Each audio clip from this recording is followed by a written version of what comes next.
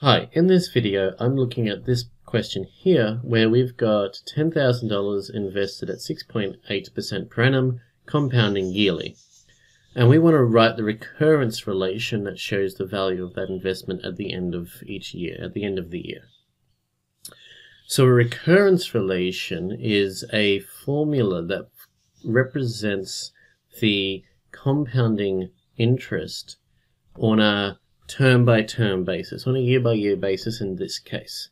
So it'll work out for each year how much is going to be in the account.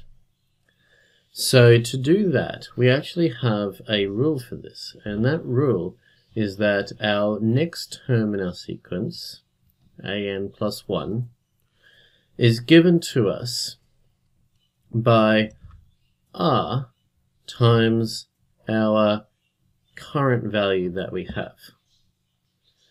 So an plus 1 is our next term, the end, the value at the end of this year that we're currently trying to work out. R basically represents our rate increase that we're getting, and AN represents the amount that we had previously. So a few things we need to work out before we can even get started. The first thing we want to work out is A 0, our first term, how much money we're starting with in our investment. And this is our principal, so this is our $10,000 that we're going to invest. So we have a 0 is 10,000. The next thing we're going to want to work out is R. Now R is actually going to be 1 plus our interest rate I as a decimal. So we need to work out little i first.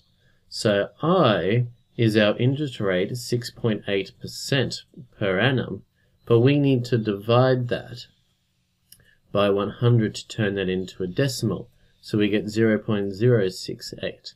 And we'd also have to consider dividing it by how many times it happens each year, but because this is happening yearly, we don't need to worry about that for this problem.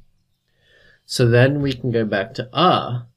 R is going to be 1 plus that 0.068, which means that R is 1.068. And so now we can go and have a look at our problem here. So we can finally write our recurrence relationship. I know everything, I know the formula, so our relationship is going to be A n plus 1 is going to be R, which is 1.068, multiplied by an. And lastly, we finish off by saying where our first term, A0, is 10,000. And so that is our recurrence relationship. That is our final answer.